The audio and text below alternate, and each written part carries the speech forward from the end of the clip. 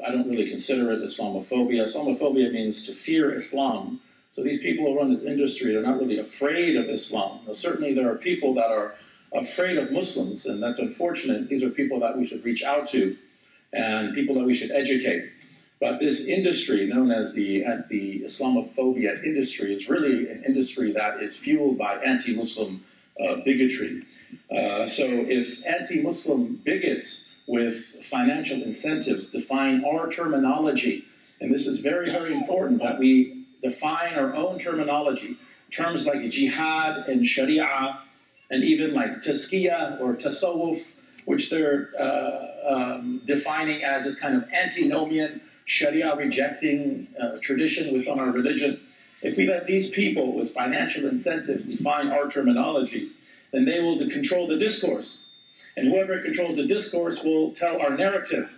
And whoever tells our narrative will educate the masses or miseducate the masses. There are Muslims in America that become atheists all the time, and these are people whose ancestors were awliya, they were ulama, they were mashayikh, and in one generation, Islam is gone.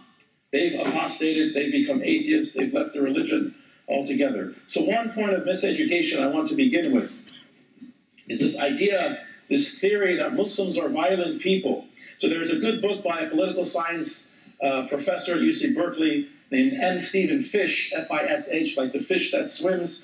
He has a book called Are Muslims Distinctive? Uh, a look at the evidence using reliable data set, sound scientific methods, and objectable, uh, objective frameworks of analysis, as one Princeton professor put it.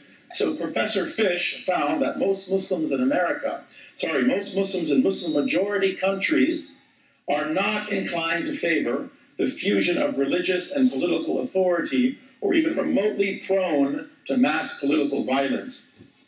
He finds that while gender inequality is severe, and a lot of that is culturally based, murder rates and class based inequities are far less severe among Muslims than non Muslims. So I want you to look at this. So, according to the FBI,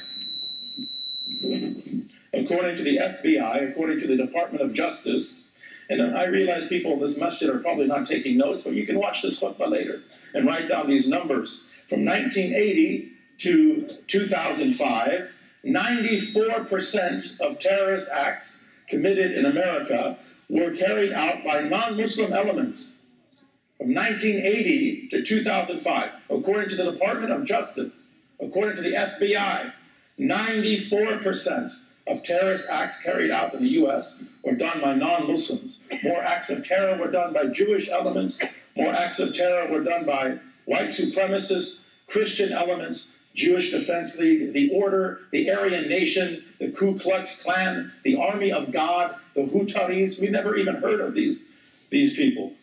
The question I get a lot, because I talk to a lot of non Muslim audiences, is why don't you Muslim scholars denounce ISIS more? The question I get all the time. So, one of my colleagues had an interesting uh, way to deal with this. And I tried this. I was speaking with a group of about 400 people, 90% of which were probably non Muslim. So I said to them, Have you ever Googled Muslim scholars denounce ISIS? Have you ever Googled it? And nobody raised their hand. Why haven't you Googled it? You expect it to come to you? Have you heard of the open letter to Baghdadi? Have you heard of this?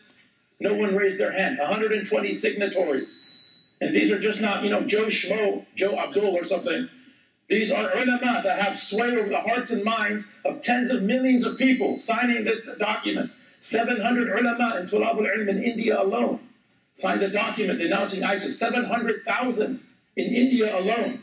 So don't expect MSM, mainstream media, to give you the truth. You have to search for it. The reality is information is selected for us. We're not getting the whole picture. We're not even getting half the picture. Uh, every year, Google has to uh, submit something called the Annual Transparency Report, this is when the government orders Google to take things off of YouTube and search engine results. The number one reason why is hate speech. Hate speech, right? And of course, hate speech in a country that espouses freedom of speech is totally subjective. What's interesting is Voltaire said if you want to know who controls you, determine whom you're not allowed to criticize. so hate speech is the number one reason. The second reason is uh, copyright infringements. The third reason is criticism of the government. This is the third reason why the government orders Google to remove things from YouTube results and from search engine results. I'll give you a simple example.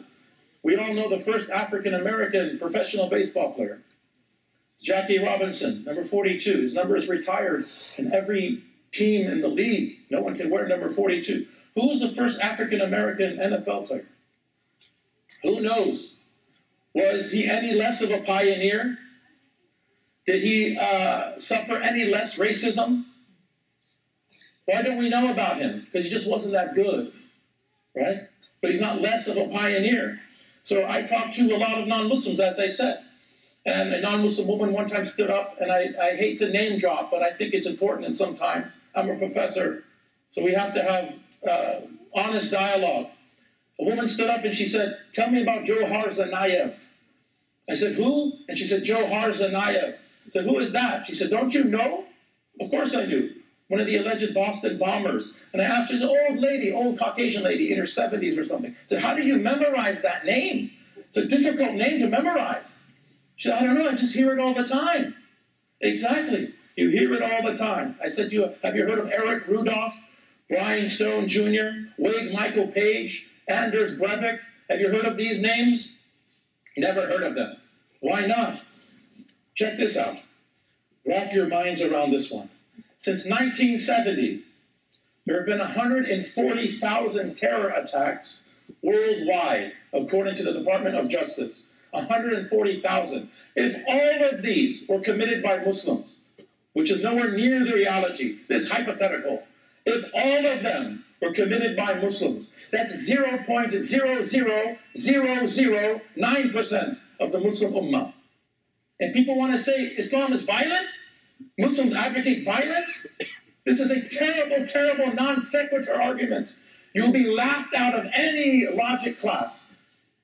If your conclusion is therefore Islam is inherently violent or Muslims are violent, when 0.00009 percent of the Muslim Ummah have committed terror attack. That's if Muslims have done all of the terror attacks, which is nowhere near the reality. In 1925, 60,000 hooded Klansmen marched on Washington, D.C. Did you know that? In 1925, 60,000 hooded Klansmen. According to PBS, the national membership of the Ku Klux Klan in the 1920s was between 3 and 8 million. According to Pew Research, the number of Muslims in America right now is about 3.3 million. That means there was a time in America in the 1920s there was potentially double the number of Klansmen than there are Muslims in America right now. Double the number, possibly triple the number. Yet I would never characterize, well, Christianity is a violent, you know, racist religion. There's a billion and a half Christians. It's a terrible argument. Why do people make these arguments? It's mind boggling to me. Sometimes we have to take people by the hand and lead them a little bit. People don't know the difference between Muslim and Islam, believe it or not. People try to convince me that my religion is violent. I ask them, what's the difference between Muslim and Islam? I don't, I don't, is Islam the country? Are, are you Islam? Is what I get. Are you Islam? Oh, that's a pretty deep question. It's a deep existential question. Am I Islam? SubhanAllah. So we have to make things simple for people. Islam is the active participle. Islam is a Muslim is to Islam as Christian is to Christianity. Let's start there. You have a senator, Santorum, who gives us two-hour speech on the dangers of Sharia law. It's a dangerous thing, Sharia law, two hours. A Muslim 20 years old asked him after his speech, Excuse me, Senator, what are the five maqasid of Sharia? What are the five aims of the Sharia? Sharia 101. Uh, um, what? That's like me giving this uh, impassioned, uh, um, critical analysis of Thomas Aquinas' Summa Theologica. When breaking down the Latin, it's oh he's wrong here, and he's really he's, he's misquoting this over here. And then a Christian asks me, "What are the four Gospels?" And I say, John Paul, Ringo, George, right? No. People don't know the difference. ISIS is to Islam, is the KKK is to Christianity. Use that one. That's a good one. Terrorism is to jihad. This is from Abdul Hakim Murad. Terrorism is to jihad as adultery is to marriage. To the untrained eye, to the uninitiated, they look the same, but they're very, very different. Did you know you're more likely to be struck by lightning than to be shot by a Muslim terrorist in America? Did you know you're more likely to slip in the bathtub and kill yourself than, be, to be shot by a Muslim in America? Did you know you're more likely to get shot and killed by a toddler? Ever so often, a toddler, a little child, finds his parent's gun and shoots and kills someone. You're more likely to be shot by a toddler than by a Muslim terrorist in America. And in Europe, over the past five years, 2% of terrorist acts in Europe are done by Muslims. People haven't heard of Anders Breivik, the so-called neo-crusader who killed 77 people in the name of Christ. Obviously, that isn't Christianity. But it's so easy in our minds to differentiate the two. But we've been indoctrinated. We've been brainwashed into thinking that terrorism and Islam are one and the same thing. Another point of miseducation is that Muslims worship a different God Right? You hear this from the likes of Walid Shoebat, who describes himself as a former Muslim terrorist. Right? These con men who perpetuate this idea. Allah was the Babylonian moon god. And then he has this ridiculous theory that I've already debunked. Look at my talk online. Is, is God Allah? Totally debunked. Of the sign of the beast, the mark of the beast, the book of Revelation. You sit there and laugh for 10 minutes. But then you look at the number of hits 500,000 hits. 600,000 hits, 1 million hits. People listening to this guy, because he speaks Arabic, he must know what he's talking about. Every Tom, Dick, and Abdul who's Arab speaks Arabic. Well, obviously he knows what he's talking about. Another logical fallacy, an appeal to unqualified authority. People don't study logic. In early Christianity, there was a movement called Marcionism, where some Christians said the Jews worship a different God. We worship the real God. Now the paradigm has shifted. You know the uh, the alif lam in the word Allah. There's an opinion. It's a definite article. Al ilah became Allah. That's not the dominant opinion, according to Edward Lane in his beautiful lexicon. He says the alif lam in the word Allah is cognate to the alif lamed in the Hebrew. Elah, Elohim, Elo. These are cognates. That's how you say God in Hebrew. That's what, that's what it says in the Bible. In the Arabic, Translation of the Bible done by Christians, Genesis 1 1. Kitab al-Taqweem. In the beginning, Allah created the heavens and the earth. Isa alayhi salam, he spoke Syriac. This is a uh, Semitic language. According to a Christian text, a Christian text called the Peshitta, Jesus says in Mark 1.15, Shram le zimne wa matyaf malkutha Allah. The hour has come. The kingdom of God, Malakutha de Allah, is at hand. This is how Isa alayhi salam said God. Not only did Isa alayhi salam call God Allah, there is no theological difference between the teachings of Isa alayhi salam and the Prophet sallallahu alayhi wasallam. Inna awla nas bi Isa ibn Maryam في الدنيا والآخرة وليس بيني وبينه نبي أو كما قال عليه الصلاة والسلام.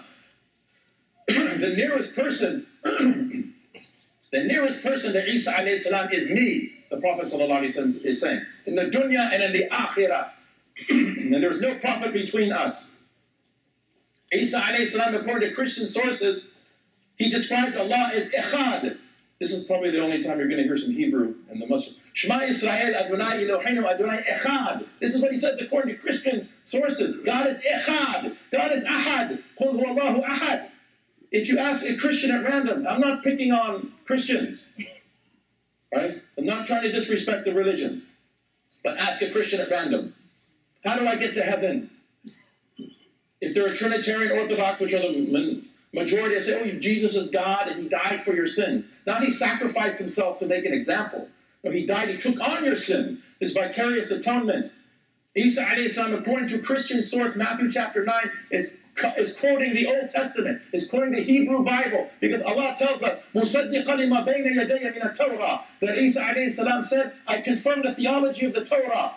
In Matthew 9, he says, I require mercy, and not sacrifice. فَدَعَتْ إِلَهِمْ وَمَعْرِفَةُ اللَّهِ And the knowledge of God may of over burnt offerings. It's about rahmah, chesed, mahabba, rahmah, and da'at Elohim, ma'rifatullah, knowledge of God, not burnt offerings and sacrifices. This is what he says according to Christian texts. Another point of miseducation that there's no love in Islam. You hear this a lot. You got these so-called former Muslims going on satellite television from you know Muslim countries. I can pick on the Persians, Iranians. I'm Persian. We prefer Persian over Iranian, by the way. It sounds more friendly. and you know, this guy goes on TV, and I challenge him to a debate. And I said, "What's your beef?" And he said, "He says Ali John, در اسلام محبت وجود نداره اسلام خشونت است I said, really? So there's no love in Islam. Islam is just violence.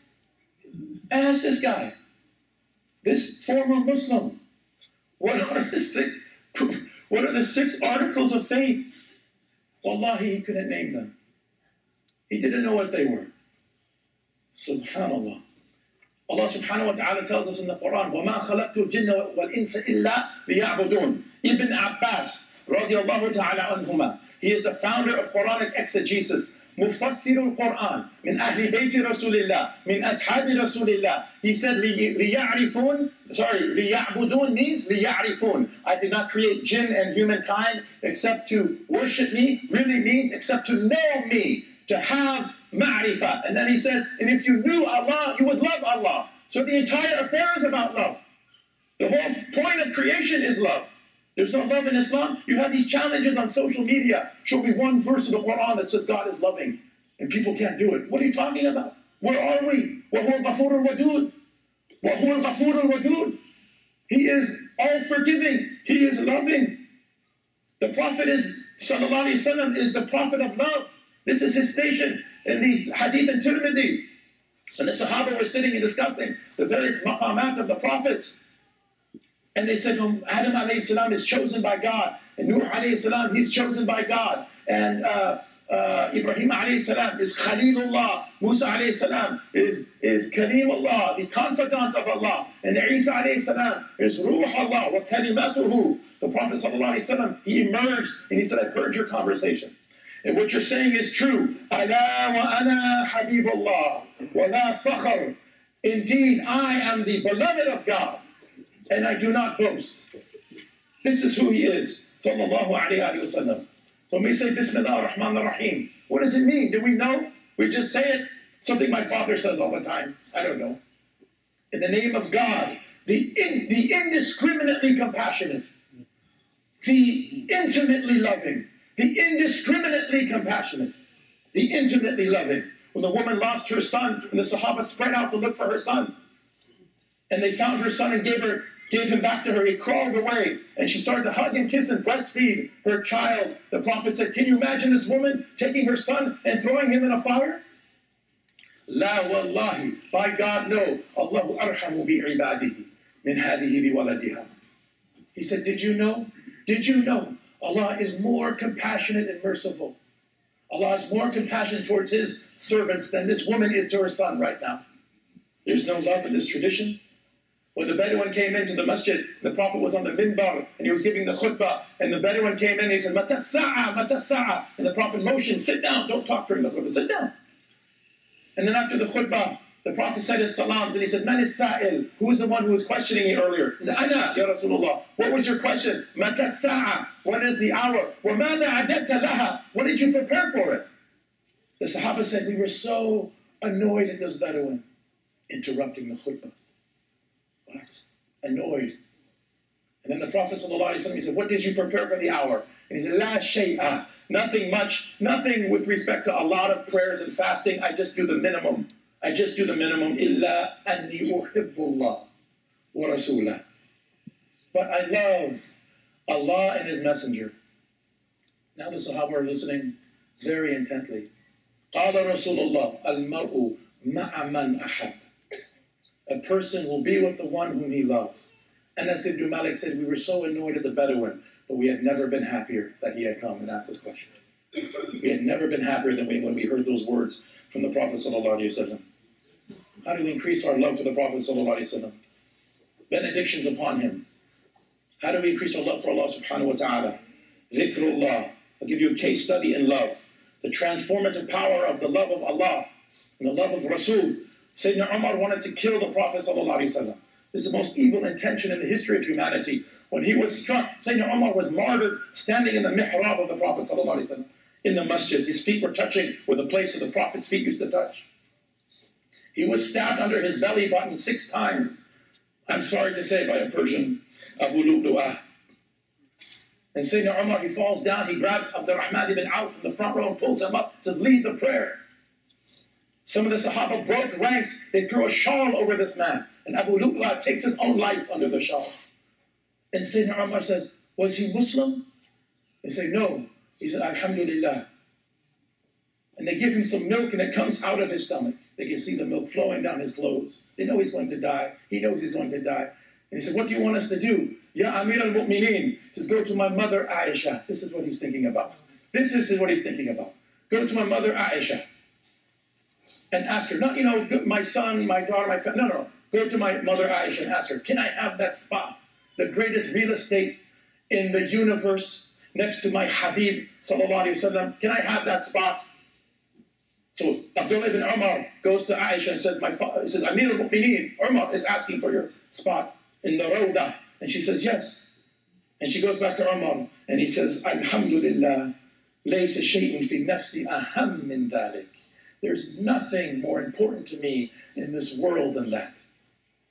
And then Sayyidina Umar tells his son, Abdullah ibn Abbas, he says to him, uh, when I pass away, go back and ask her again. Maybe she said yes out of deference for me. And don't say Amir al-Mu'mineen, say my father Umar. My father Umar.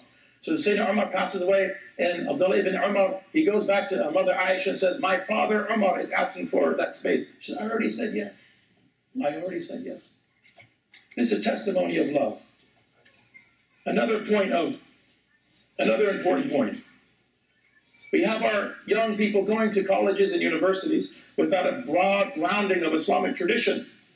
You know, if you do a PhD program, you have to submit something called Statement of Broad Grounding, which is basically bragging about yourself for four or five pages about why you're qualified to even write a PhD. We have to have broad grounding. This is important. We need to have our own academic institutions. We have to have the courage to send our children there. Many of our children come out of the university system more unintelligent than when they went in, more unintelligent.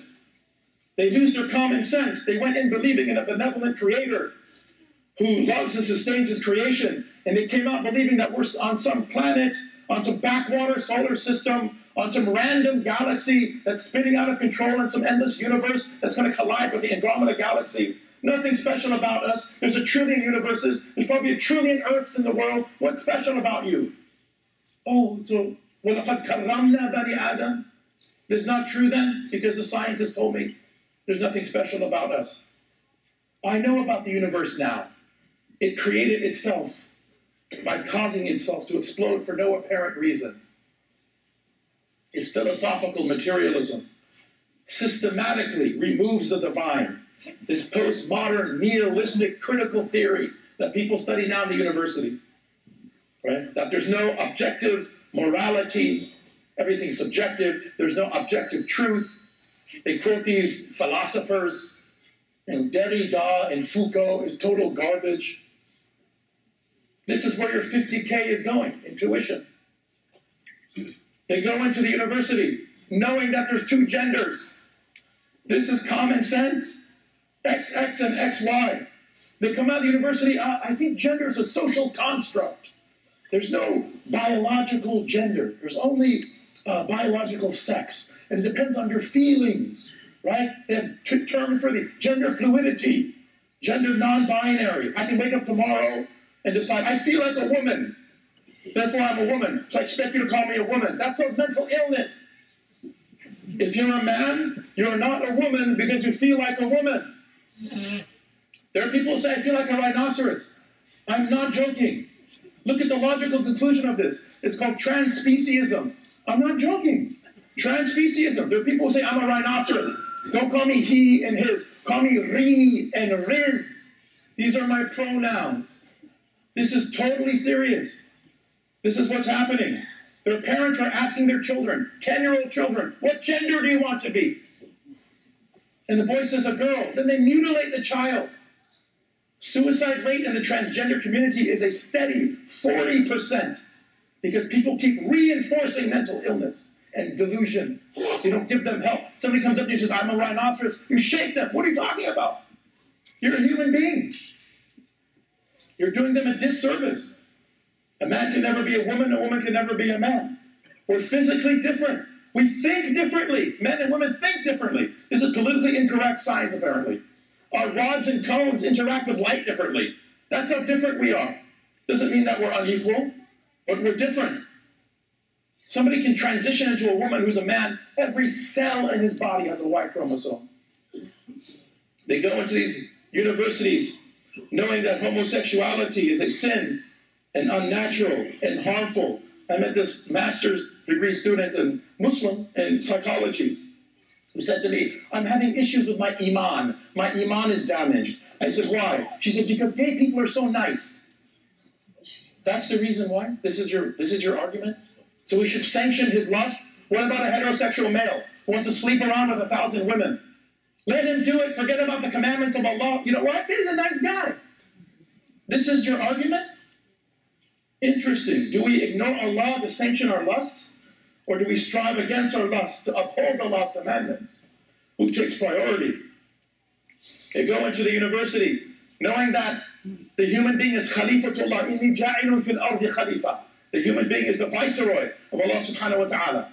And then they come out believing after this random big bang, right, that inanimate objects, inanimate matter, like uh, wood and gas, formed living cells. That happens all the time, right? Formed living cells, and that eventually there was this goo in the ocean, and this goo became a fish. And then this fish eventually crawled out onto the beach. Don't you hate it when you're sitting on the beach and a shark comes out and spontaneously turns its fins into lungs? Don't you hate when that happens? What are you talking about? What? And then this became a small woodland creature, and then it became a monkey, and then a bigger monkey, and then it became a human being. This is what people are taught right? It became us. If that's true, there should be millions, trillions of mutations and transitional form skeletons in the earth. Where are they? Darwin said we dig up the earth and find them. We didn't find anything. We've barely found a dinosaur. Where are they? We should have trillions of transitional form skeletons. They have like two or three, you know, Piltdown Man, which is a hoax, and Lucy, probably ex- extinct apes or ape bones mixed with human bones. There are two things. Here, here they are. Here's the here's the missing link. There should be trillions of them. Say 98% of our DNA is the same as a chimpanzee. Didn't you know that? Did you know, did you know that a watermelon and a jellyfish are 98% the same? Let's eat some jellyfish. There's 2% that's difference. That's not even true, by the way. But we're entertaining what they're saying. There's 2% difference. But in this 2%, there's something called the akal. Right? I like to see a group of chimpanzees uh, do some engineering and build a skyscraper, do some spherical trigonometry, this is our differentia. God created Adam in his form. What is the form of Allah? It's majaz. It doesn't mean Allah is a surah. Just as Allah subhanahu wa ta'ala has ilm mutlaq, absolute knowledge that is perfect, we also have knowledge that is contingent, derived from Him, but limited. We have the ability to reason. This is why the Khalifa of, of, of Allah subhanahu wa ta'ala is the human being. But they want to tell us we're just animals. This is why people start come, stop coming to the masjid. This is why the youth don't come to the mosque. They're harboring these things. They don't tell you. They tell me. I'm in academia. You have people over there criticizing circumcision. Oh, this is brutal. Child abuse, circumcision. Yet advocate abortion. The killing of children. Most of them are girls, by the way. There, there used to be laws in countries where you can only have one child. So you have a girl abort, girl abort, girl abort. وَإِذَا الْمَوْءُودَةُ سُئِلَتْ بِأَيِّ ذَنْبٍ قُتِلَتْ When the little girl buried alive is going to ask, why was she killed? You have people who criticize the killing of animals. They protest. There was a gorilla shot at the Cincinnati Zoo, right? And there was protest. Harambe. His name was Harambe, by the way. Harambe, long live Harambe. People protest walking in the streets of Cincinnati. Protest, oh, animal rights, cruelty. There was a human child he had in his hand. He was shaking around. He killed that child anytime. What are you talking about? During that week, bombs were dropped on Syrians. Who cares, right? No protests. Civilians, men, women, and children. Not priority. We're just animals. There are people who go into the university believing that ultimate justice is with Allah subhanahu wa ta'ala on Yom al Qiyamah. And they come out, these radicalized neo Marxists who want to establish their utopia by any means necessary, even to the detriment of their own values and beliefs. Even if it means slandering and insulting Ahlullah, ulama of Allah subhanahu wa ta'ala, because you disagree with them. Man waliyan faqad. Whoever shows enmity towards my friend, my wali, take notice of war from me. People who attack the ulama because of a difference of opinion, you put yourself in danger of su'al khatima, of a bad ending. This is mujarrab, this is tested and tried over time. People who attack the Prophet ﷺ, the mustahzi'un, the, those who abuse the Prophet and made fun of him, not a single one of them became Muslim. Read your seerah. Not a single one of them. It's very dangerous. But this is what's being taught to these a lot of these kids, our children, and we're paying for it. May Allah subhanahu wa ta'ala give us the tawfiq to build our own institutions. And give us the courage not to fear loss of wealth, not to fear, not to love the dunya so much that we don't have the courage to send our children to these institutions. أقول قولي هذا وأستغفر الله لي ولكم فاستغفروه إنه هو الغفور الرحيم. توبوا إلى الله يا تواب توبوا عليه.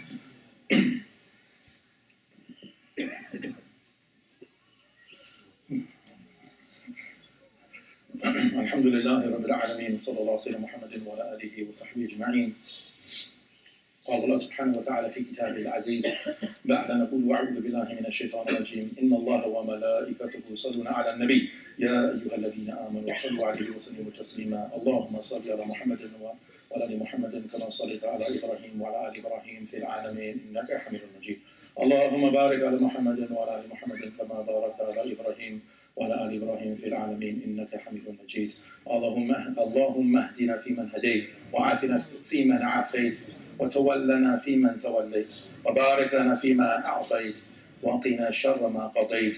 ربنا لا تزغ قلوبنا بعد إذ هديتنا وهب لنا من لدنك رحمة إنك أنت الوهاب. ربنا آتنا في الدنيا حسنة وفي الآخرة حسنة وقنا عذاب النار. لا إله إلا أنت سبحانك إن كنا من الظالمين. لا إله إلا أنت سبحانك إن كنا من الظالمين. لا إله إلا أنت لا إله إلا أنت. سبحانك. لا إن كنا من الظالمين. ربنا ظلمنا أنفسنا وإن لم تغفر لنا وترحمنا لنكونن من الخاسرين. يا مقلب القلوب الأبصار ثبت قلوبنا على دينك. يا مقلب القلوب الأبصار ثبت قلوبنا على طاعتك. وصلى الله على محمد وعلى آله وصحبه وسلم. والحمد لله رب العالمين. واقم الصلاة.